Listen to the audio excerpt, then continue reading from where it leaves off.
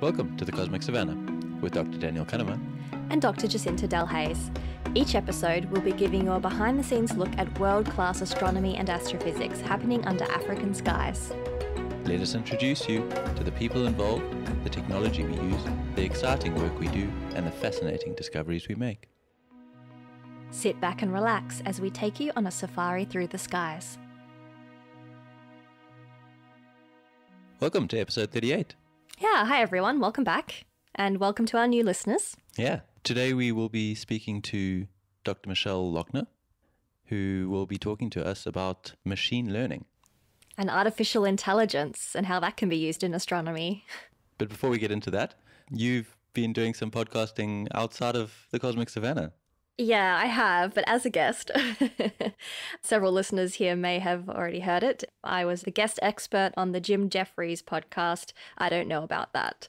Jim Jefferies is a comedian, and every week he kind of has another expert guest about some different topic. And I did the latest episode on uh, galaxies, and it was a lot of fun and very different. Yeah, his style's a little different to ours.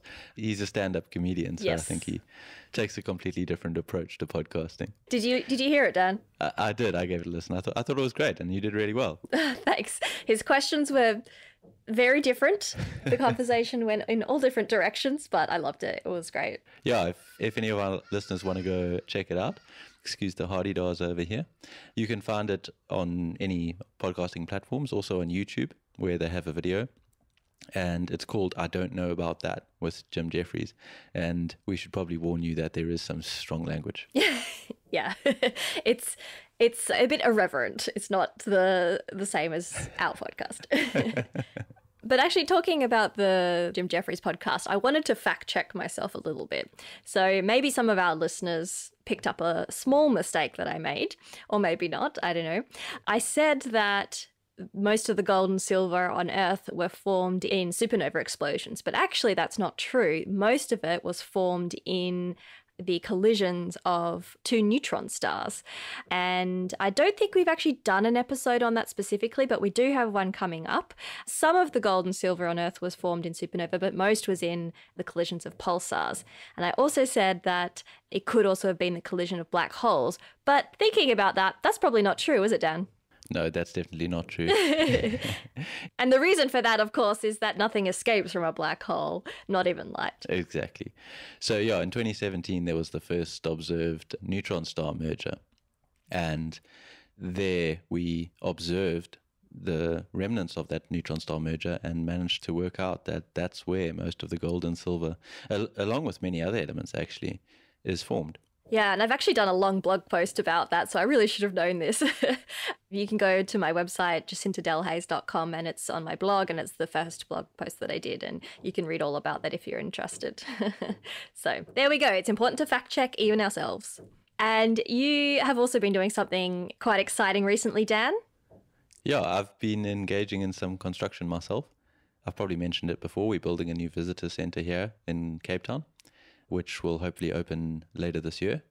And yeah, so this morning I was Bob the Builder, had my hard hat on and my safety boots, and we lifted a new telescope, a solar telescope, onto the visitor center roof, which was super exciting. Got to play with the crane, although I didn't drive it. And yeah, super fun. Great. And what are you installing? So it's called a heliostat, and it is a telescope which will observe the sun through the day and project an image of the sun into the room below. So we'll be able to see a live view of the sun, and if there's sunspots or, or any interesting things on the sun to see, then we'll be able to see those. But it'll also have a spectrograph on it, and a spectrograph essentially splits up the sun's light into all of its constituent wavelengths. So we'll be able to have a, a spectrum of the sun, a live spectrum of the sun, which we'll also be able to observe. Awesome. Did you just say that you got to drive it yourself? No, I didn't get to drive it myself. Oh, because that would be fun. no, that would have been a boyhood dream. Yeah, but maybe not breaking the telescope. That may not have been so good. cool. All right. Well, shall we talk about today's episode? Now that we are how many minutes in? I think we should. okay, great. Yes, as you said, today we are talking to senior lecturer from the University of the Western Cape, Dr. Michelle Lochner, and she's going to be telling us all about machine learning and AI and neural networks and all of these really amazing things, which I've heard very little about. I didn't know much of this at all. And so it was very interesting to talk to Michelle. Yeah, absolutely. I think that, you know, not a lot of people know about this, and it's a very new field in astronomy and very exciting because it's opening up a whole new avenue of astronomy in terms of the dealing with the big data that we have and trying to work through that at a level that humans can't actually keep up with. So Michelle explains all about that and her work on the MeerKAT telescope and also the Vera C. Rubin telescope, which is performing the LSST, the help me out here, Dan, Large Synoptic Survey Tele Legacy. Leg Legacy. Okay, what what is it? Ooh. Legacy Survey Telescope, maybe Synoptic. I think we. Mm. Okay, we'll Google that in the meantime. No, Michelle will tell us. Michelle will tell us. Without further ado, let's uh, let's hear from Michelle.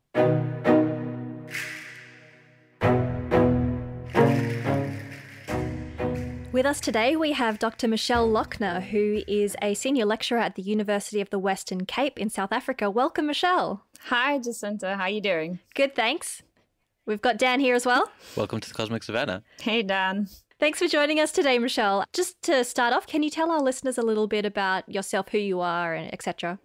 Sure. So I'm Michelle Lochner. I'm a senior lecturer at the University of the Western Cape, but I also have a staff scientist position at the South African Radio Astronomy Observatory, which I'm sure by now everybody knows about because of the exciting MeerKAT and SKA telescopes. And I'm interested in a lot of different things in astronomy and cosmology, but in particular, applying machine learning and other cool data science techniques uh, to try and handle the massive amounts of data coming from our amazing modern telescopes. All right. So, first of all, what is machine learning? Yeah, so maybe not everybody's heard of machine learning, but I'm sure everybody has heard of artificial intelligence or AI. That's definitely been part of our sci fi viewing for many years. Uh, so, artificial intelligence is really any computer program that is making decisions. So, you find it on your phones, on airplanes, even in your washing machine. But machine learning is a particular type of artificial intelligence that's uh, become really, really important in recent years. And the idea behind machine learning is that it can learn to do things without being explicitly programmed. So it's an algorithm that can teach itself by looking at data. And this has become really important for everything. There are many machine learning algorithms running on your phone, running in your email, maybe recommending good music to you. But it's becoming more and more important in astronomy as well to try and handle in automated ways the, the huge volume of data that we've got coming in up until now, it's been small enough for humans to be able to do everything. We're now starting to have to rely on the machines a lot more. How do you set up a machine to learn about astronomy, though? That's a great question. So, you always have to start with data, right? You've got to start with your data and you've got to start with a question. So, a great example in the ordinary world is say you want to be able to tell the difference between cats and dogs. And this is a very important question that needs to be solved. So you would have to run a machine learning algorithm which uh, is designed to figure out the difference between cats and dogs in an automated way. And you've got to start with a data set, a training set of known examples of cats and dogs. There are many different algorithms that you can choose. For instance, one called neural networks, which are very popular, which is based on how we think the human brain works and is made up of these connected neurons that you can then train with your training set of known examples of cats and dogs. And once you have a trained neural network, you can apply it to new data to say, hey, is that a cat or is that a dog? And these are the algorithms that Google, for instance, is running all the time. If you've ever done a, a Google image search, it's running a neural network in the background. We do this pretty similarly in astronomy. We may, for example, have a sample of spiral galaxies and elliptical galaxies. And years ago, people would do this manually, look through the data and say, yes, that looks like a spiral, or yes, it looks like an elliptical. But we now regularly have data sets with millions of objects. And there's just there's just no way a human can go through all of them. So we would create a training set of known spirals and ellipticals, train, for instance, a neural network algorithm to be able to tell the difference, and then apply it to larger data sets that we can then do some science with. That's a type of machine learning called supervised machine learning that's very popular. But I actually work in a different branch of machine learning mostly called unsupervised learning. Okay, I have so many questions. Um, I don't know where to start. Okay, so we're going to find out about unsupervised learning in a second. But first of all, you said that we start with huge amounts of data, that we've got huge amounts of data at the moment. So we can't look through all of it by eye. How much data do we have? Ah, it depends on the data set.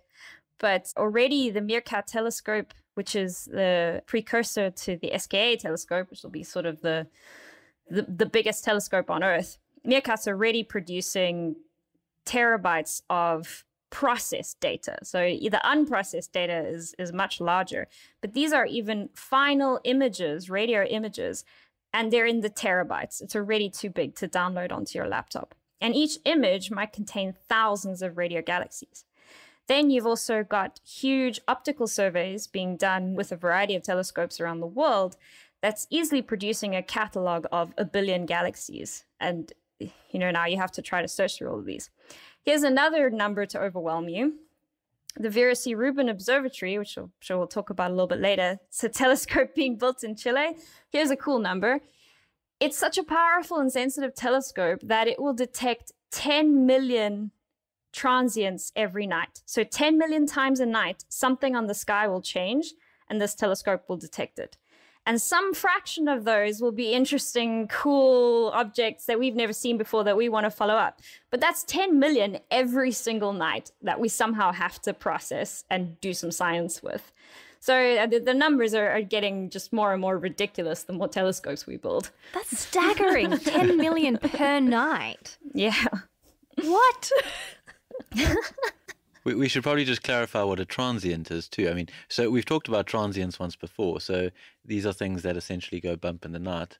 And now we hear that there's 10 million of them. it's a lot of bumps.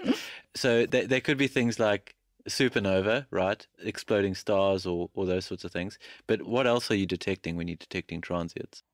Yeah, that's right. So, I mean, about half of those 10 million things are not going to be astrophysical at all. There will be cosmic rays or aeroplanes or, of course, satellites. Lots of them will be satellites. Ah, the satellite constellations. Mm-hmm, unfortunately. Starlink. Yeah, Starlink is a real problem for for optical telescopes. Mm. But you know, still about half of those are going to be actually interesting things. Uh, so supernovae is one that you mentioned, which are massive explosions of stars. Within our galaxy, there'll be things like variable stars. So these are, are ordinary stars that pulsate and, and change there will be active galactic nuclei. So these are, I've heard them called galaxies behaving badly. Where did you hear that? I think, I'm pretty sure it was Prof. Wilcots who said that. it's just stuck in my mind. Galaxies behaving badly.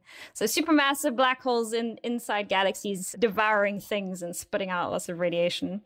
Of course, there's the rare kilonova that we're we're hoping to find a few more of that we've only ever detected one of. These are the most powerful of the supernova, right? Well, these are the results of a binary neutron star merger. And if you remember the, the gravitational wave event of a few years ago that made such a stir in astronomy, that's the one and only kilonova we've detected. So there, a gravitational wave was detected, and then telescopes followed up and then found the kilonova, right? But it's possible that in amongst these 10 million transients every night, one couple of them could be kilonova. So uh, that's a real needle in a haystack problem. And of course, there's all kinds of things that we we can't even predict now. I mean, maybe there will be new types of transients that we haven't discovered up until now. These are the things that I'm really excited about. Okay. Okay, so now we're talking about transients, but let's get back to the machine learning. Okay, so there's going to be all of these things that this telescope, the Vera C. Rubin telescope, and you know MeerKAT and the SKA, they're all going to be detecting these strange things, and so it's just impossible for humans to go through this and find them all themselves by eye. So we need computers to do this. Now, so you're talking about machine learning, like artificial intelligence, and one type of that you said is called neural network. So, can we just go back to that? I didn't quite understand. So, you said it's kind of like the human brain. Now, is I don't know anything about this. So, are you able to describe that in a way that I might be able to understand what a neural network is? Sure. Okay, let me try. So, what does a machine learning algorithm do? It's often referred to as a black box. It's a thing that takes inputs, does some stuff, and produces outputs. Okay, that's that's one way of thinking of a machine learning algorithm. Okay, I'm still with you now. Good. so in the example of telling the difference between cats and dogs, the input would be an image, so some kind of picture, and the output would be cat or dog right? So it's the prediction of what should this label be for this image. Okay. So the question is, what's all the bits in the middle? What's what's the stuff doing that goes from an image to cat or dog? The bit in the middle is the algorithm itself, and there are many different ones. You could think of it as this complicated mathematical model, and there's many different ways of building them. So a neural network will take an image and pass it through what's called a layer of neurons. So these are like neurons in the brain. And there can be many layers of neurons that are connected in some particular way. Okay, but when we say neuron, sorry for interrupting you there, but it's not like an actual neuron in our brain. It's some piece of code, right? It's a piece of code. Yeah. Okay. Yeah, it's a piece of code. There's like little chunks of pieces of code right. that it's passing yeah, through. That's right. That's okay. right. So you can think of it as these pieces of code that we use mathematics to connect to each other. The actual training part learns how important each bit of code is in being able to transform from the image to the label. Okay, so it's deciding the importance. Yeah, exactly. Of each of these bits of information. Yeah. So basically, for the cat and dog example, right, the neural network is going to learn cats have pointy ears, dogs have sort of soft or fluffy ears, and therefore the ear neuron is an important one. Is that about right? Yeah, yeah, you could you can think of it that way. Yeah, it ends up. Uh, um, it's, it's, hashtag complicated. it's, it is complicated. It ends up being along those lines. Yeah, you could say that some parts of the neural network will be sensitive to the you know the color or the overall shape of the animal. Some parts will be sensitive to the length of the tail and the, the, the size of the ears. So it does end up working out kind of like that, yes. Okay, but we're not actually looking at pictures of cats and dogs. We're looking at pictures of galaxies, right? Or that's what your work does. Maybe can you tell us more about that? What I'm interested in is a different branch of machine learning where we don't know what we're looking for. The most common types of machine learning that people work on is like the cats and dogs example, where we have some training set, we have some known thing that we're looking for, and we can train a neural network, for example, to look for that thing. I am more interested in finding the unknown unknowns. So the things that we didn't know we should have been looking for. And that's quite a bit harder because, of course, you don't have your training data, uh, you don't have any known examples by definition. And so, what I do is I might take a data set of galaxies, such as from the MeerKAT telescope, so of all these beautiful radio galaxies, and I want to run a, a version of machine learning called anomaly detection. So, looking for all the rare galaxies in this data set. So, what I have to do is find this, this actually gets even more complicated than neural networks. what? what are we going into now? I can imagine. Who'd have thought? All right, so let, let me let me see if I can if I can if I can describe this. So this actually works quite differently to the neural networks. What I do is I find a way to describe the shapes of galaxies, a kind of mathematical way. And I do this by asking the question, how similar is this galaxy to an ellipse? Because a lot of the time, ordinary, boring galaxies that aren't doing anything interesting just look like ellipses. Whereas things like merging galaxies, for instance, or just weirdly shaped galaxies, interacting galaxies, don't look like ellipses. They look like they have strange shapes. So I do something called feature extraction, which is a way of simplifying your data down to a simple set of numbers. And in this case, my numbers describe the shapes of the galaxies using these ellipses. Okay, are you with me? yes. Okay. Dan, maybe you can describe what Michelle just said. so, so I think I mean I think the thing is right. So you're looking at something like a galaxy, and you don't really know how you want to classify it. And you don't know that they come in spirals or ellipses or whatever. So you compare it to a square. Hmm, nothing really looks like a square. You compare it to a circle. Some of them look a bit circle. You compare it to a few other things. The computer builds up an understanding of how these things look on its own. And then it looks deeper at the various galaxies and sorts them into what it thinks are a good classification system. So maybe the computer won't come up with the same classification system as we would in terms of spirals and ellipses, and eh, maybe it'll have some new idea. And I think that's where it gets really interesting because you start to see patterns and information which the, the human eye or human brain maybe wouldn't have seen. Yep. That's that's a that's a great summary. Yeah. So, oh, well done. Yeah. yes. Yes. Okay, but then yeah. now I want to take it to the next step. So these transients, right? We're getting 10 million transients a night. Now, you know what a Starlink satellite looks like when it goes over. Presumably, you know what an aeroplane looks like, although depending on its path, it might be a bit different. And you know what a supernova. So, so you've you've got a trained data set already for these. But then do you run a concurrent, unsupervised algorithm on that to try and find things which we didn't know existed? Yeah, that's good. So the the supervised algorithms will always try and give you an answer. They'll always tell you the closest thing that this thing looks like from its training set, even if it's completely wrong. So supervised algorithms are really designed to, to classify no matter what, even if it does quite badly. So you do have to run a separate anomaly detection to try to find things that it's never seen before. The, the classifiers just aren't designed that way. It's a completely different type of algorithm you have to run. So then what's unsupervised learning? It's not even a great name, really supervised learning simply means you have a training set, so you know exactly what you're looking for.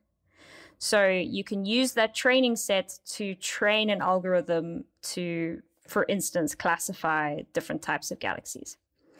Unsupervised learning means you don't have a training set. You don't know what you're looking for. And so the, the, the, the two kind of branches of unsupervised learning are basically exactly what, what Dan hit on is something called clustering, looking for things that even though the, the algorithm doesn't know what they are, it knows they look similar. And indeed, sometimes they come up with different groupings to what we would normally do. And then the other thing you can do is, is what I've been working on, which is anomaly detection. So in the example where we're fitting shapes to the galaxies, I'm looking for ones that are a bad fit, right? They don't look much like the shapes of most of the galaxies in the dataset. So really looking for any kind of outliers or abnormal galaxies. Okay, so that makes sense. Now, can you give us some examples of what kind of anomalies you're finding or, you know, what kind of clusters you're finding? Yeah, so probably the the type of anomaly my algorithm has so far been most sensitive to is in the optical anyway, merging galaxies. So these are two galaxies that are literally merging, joining to become one, or just galaxies that are interacting. So sometimes, you know, you see these these big streams of stars and gas being um, stripped from one galaxy to another. Tidal streams. So so really anything that's got an unusual shape. I've picked up a couple of strong lenses, for instance, yeah, so basically anything with unusual shapes. In the radio, so radio galaxies are really fun. they're, they're especially the anomalous ones. I agree. I've been mostly picking up any kind of radio galaxy that's interacting. So usually interacting with the intergalactic medium. So you you know like the the kind of standard radio galaxy has these big jets that come out of the supermassive black hole.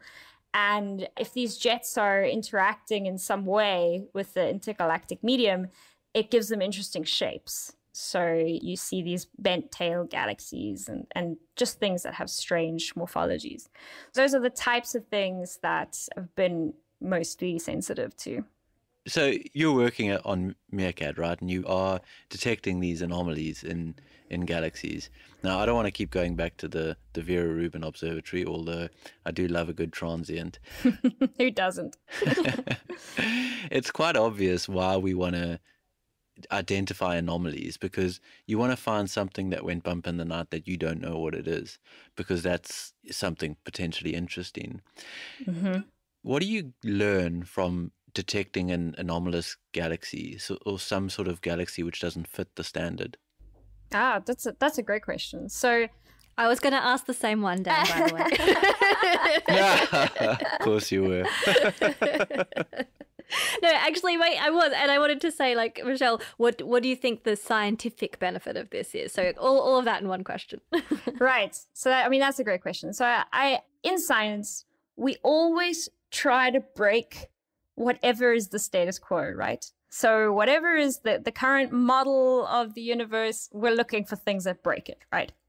So the the idea of finding unusual galaxies is that it can help improve our understanding of all types of things, but basically how these galaxies evolve and how they work. So I'll give you an example. MeerKAT's a great example because Meerkat is really more sensitive than any telescope that's come before it. So it is starting to find radio galaxies that really don't quite look like anything we've seen before. We're starting to see much finer detail than we've ever seen before.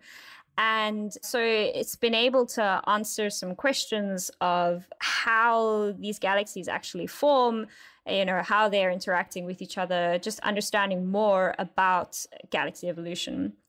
And my, you know, my thinking is that when we have billions of galaxies in a data set, it's very likely that some of these interesting things will be missed. And we really are looking for things that either challenge our current models of how we understand galaxy evolution or help answer questions that we haven't been able to answer until now because we just didn't have sensitive enough data.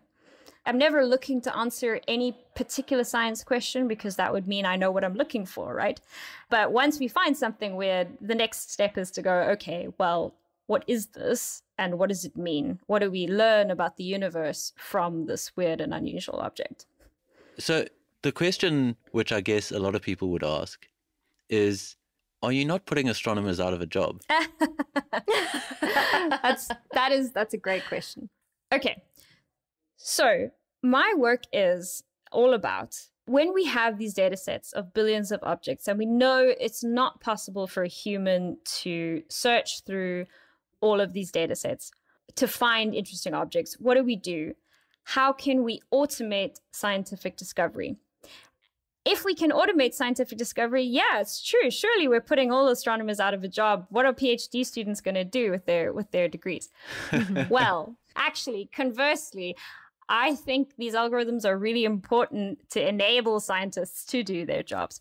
And in fact, I the more I work in machine learning, the more I realize how important it is to have a human involved in making the final decisions. No machine learning algorithm is 100% perfect. And every machine learning algorithm really actually needs improvement. So, a lot of the time when people apply machine learning, they apply it to some known data set and they say, oh, look, I got an accuracy of 97%, and then that's done. But how do you use them in the real world? How do you use them on real scientific data sets? And I think that having the, it's called human in the loop learning. So having the human involved to improve the machine learning algorithm is really critical. So, what I've been working on is a publicly available software called Astronomaly. I'm very proud of the name. And I love the name. I love the name because it's astronomy anomaly. Exactly. Astronomaly. it turns out to it turns out to be really hard to say, but anyway. Thanks for explaining it, Jacinta. so the idea behind Astronomaly is that if you've ever watched Netflix or whatever streaming service and it says, "Oh, we think you'd like to watch this thing next." It's usually completely wrong, but you know there, there are these things called recommendation engines which are being used more and more like for online shopping or for music streaming, etc. And so the idea behind Astronomaly is building a recommendation engine for scientific discovery, specifically in astronomical data sets. Now, the important question. If these networks, these learning algorithms are unsupervised, and while we're busy not micromanaging them, are they going to rise up? And are the robots going to come and kill us? yes, I think it's. I think that's the inevitable end of the human race. you know, you know. To be, to be honest, for all the incredible things that machine learning can do, it really can do some amazing things.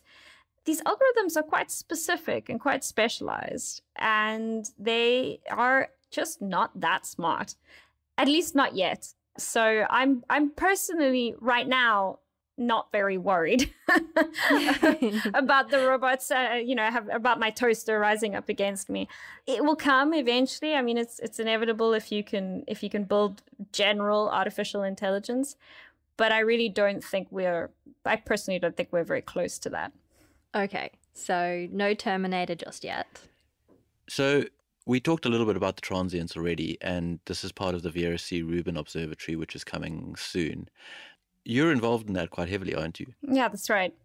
The Vera C. Rubin Observatory is a really exciting project. It's a telescope being built in Chile. It's mostly a US led project, but there's a lot of international involvement as well.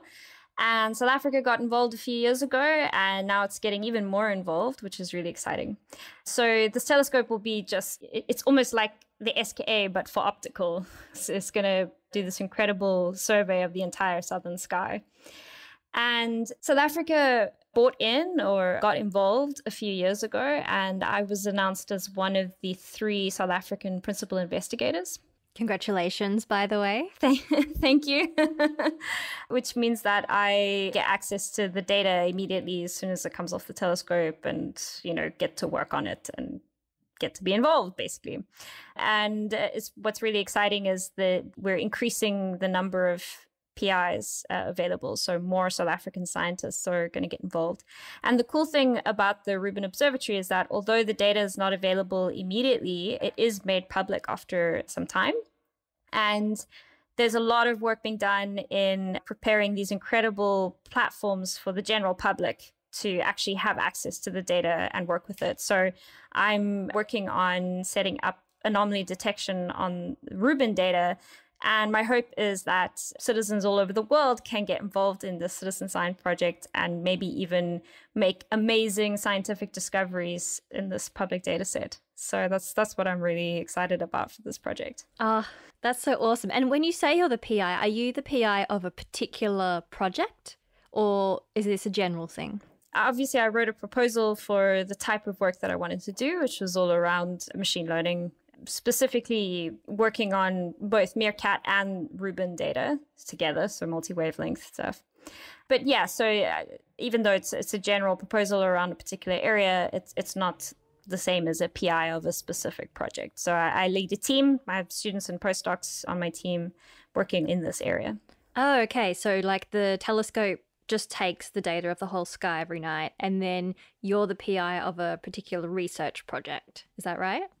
That's right. It's quite different from how so for instance with MeerKAT, you would write a research proposal and and then you get your data to work on your project for whatever. Yeah, you kind of request time to look at a particular part of the sky. Yeah, exactly. Whereas the, the Rubin Observatory is undertaking this thing called the LSST, so the Legacy Survey of Space and Time. And it's a 10 year survey. So basically, they're just doing this massive single survey and then everybody gets access to the data to do whatever science they want. So I'm very involved in the cosmology side, for instance, but people are doing transients, people are doing solar system studies, galactic studies. It's it's quite ambitious that you have this single massive survey out of which tons of science should come. And the telescope is enormous as well, right? Yeah, so it's a it's a 10 meter class telescope. But what's what's incredible about it really, it's got very clever optics and it's also got the biggest camera in the world on this telescope. It's, yes. it's wow. It's a it's like a four gigapixel camera. It's just crazy. the the physical camera, I think it's it's like a two meter diameter camera. I, I, can't remember the exact number, but it's something like that. Awesome. It's really massive. Thank you so much, Michelle. And just before we go, I wanted to ask you about one more thing. Not only are you an amazing scientist and a, and a wonderful role model, you also take a lot of care for the, the well being of the community and you run something called the Supernova Foundation. Would you like to tell us a little bit about that? Yeah, so the Supernova Foundation is a mentoring and network program for women and gender minorities in physics. So it's a, it's a program I set up a few years ago and it's grown. We have about 400 members now from all over the world. Over 50 countries, I think, are represented. So the idea is that we try to connect senior women physicists, women and gender minorities, with students from all over the world who are likely to be in environments which are male dominated. So they don't necessarily have role models in their immediate environment. So virtual platform, which has been great for during the pandemic, especially.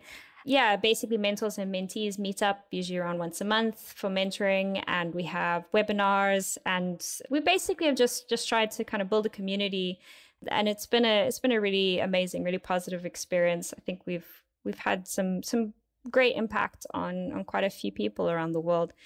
That's awesome. so, if there are some women or people of gender minorities uh, listening to this who would like to get involved, participate in this, either as a mentor or a mentee, how can they do that? Sure. Uh, you can just go ahead on the website, supernovafoundation.org. And yeah, there's a sign up page. So, if you are interested, we would very much welcome you. awesome. Thanks. I mean, it's excellent work, and we'll definitely post those links on our website too. Before we go, is there any final message you'd like to send to our listeners? what can I say? Well, machine learning is something that's in everybody's lives, in your phone, in your computer, in, in everything you do. Like many things, it can be used for great things and it can be used for some not so nice things. But uh, I hope after listening to this, uh, you've seen how excited I am about using machine learning in astronomy, where I think it's it's being put to great use, getting the best science out of uh, amazing telescopes like MeerKAT. So I hope your listeners are as excited as I am about it. Certainly after this. Thank you, Michelle. Thank you for your passion and thank you for your work. Great. Thanks so much, Jacinta. Thanks, Dan. Thanks, Michelle.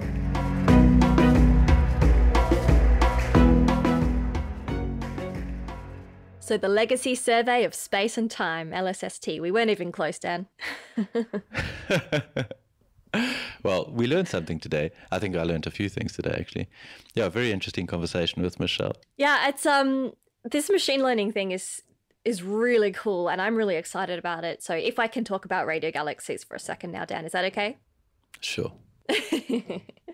so, our regular listeners will know that I work a lot on radio galaxies and radio surveys, and these are um, galaxies that have supermassive black holes in the center, releasing huge amounts of radio light. And when we look through our data, we find we can just see lots of them, but they have quite complicated shapes. And one blob over here may be associated with another blob over here in the same system, but they, they kind of look separated on the sky.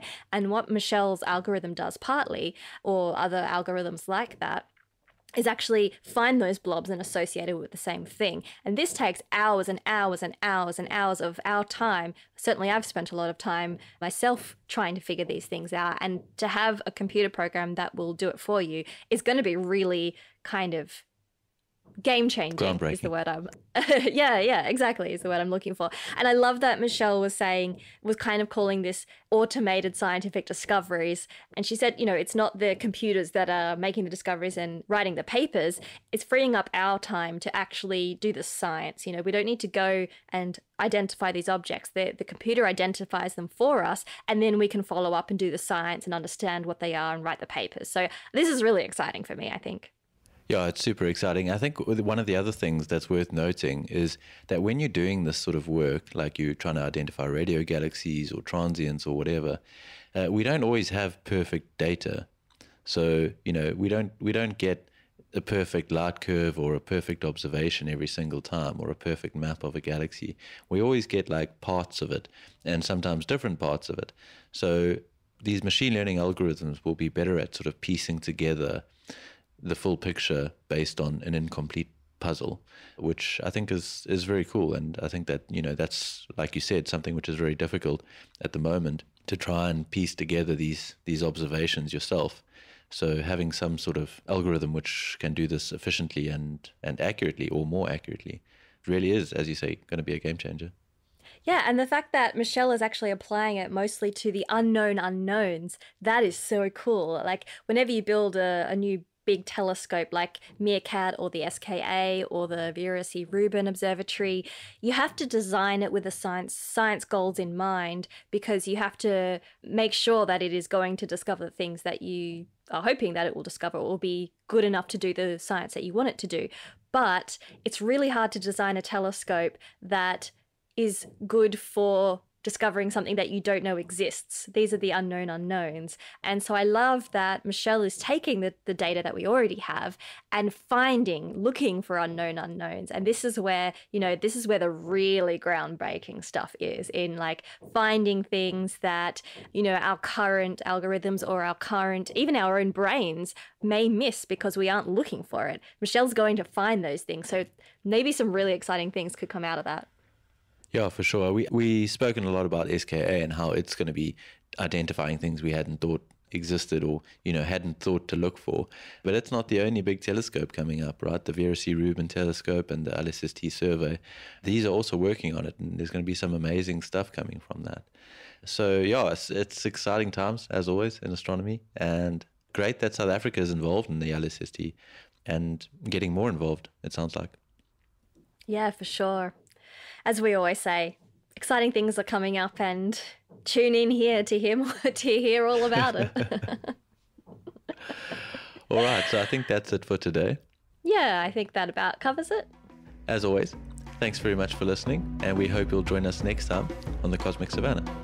You can visit our website, thecosmicsavannah.com, where we'll have the transcript, links, and other stuff related to today's episode. You can follow us on Twitter, Facebook, and Instagram at Cosmic Savannah. That's Savannah spelled S A V A N N A H. Special thanks today to Dr. Michelle Lochner for speaking with us. Thanks to our social media manager, Sumari Hattingh. Also to Mark Allnut for music production, Jacob Fine for sound editing, Michal Werchek for photography, Carl Jones for astrophotography, and Susie Karras for graphic design. We gratefully acknowledge support from the South African National Research Foundation and the South African Astronomical Observatory, as well as the University of Cape Town Astronomy Department. You can subscribe on Apple Podcasts, Spotify, or wherever you get your podcasts, and we'd really appreciate it if you could rate and review us or recommend us to a friend. And we'll speak to you next time on the Cosmic Savannah. I must say, my my Netflix algorithm is shocking. Yeah, it's really bad. Truly it's, shocking. It really is bad. I, I'm trying to build a better one. Mine. Apparently, TikTok is incredible. I wouldn't know. I'm not on TikTok, but apparently, its algorithm is amazing. That's a story for another day, though. I, I don't know. I think I'm just a very predictable. Netflix gets me pretty much every time.